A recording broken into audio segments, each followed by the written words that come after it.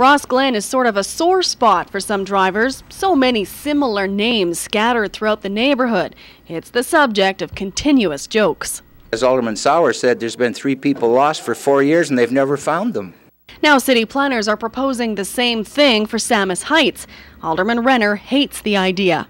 They're all in the same immediate area Sunrise Circle, Sunrise Street, uh, Sunrise Road, Sunrise Gate, Sunrise Drive.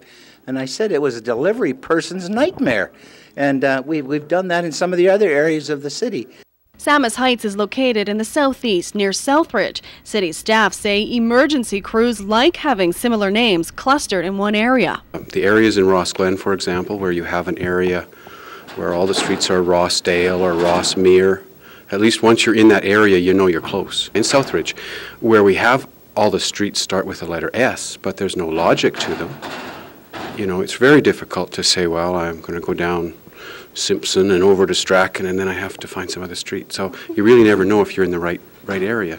Planners came up with the name Sunrise because Phase 1 is on the east side of Saamis Heights. They even considered using native names to carry on the Saamis theme. We had given some thought to names that uh, would carry through on either uh, Cree or, or Blackfoot, uh, traditional words that would either be related to tribes or chiefs or something like that.